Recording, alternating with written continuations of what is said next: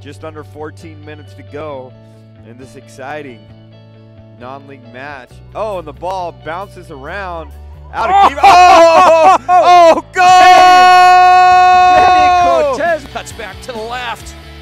All the way across. Here comes Riley Slayton up the left side now. Up the left wing.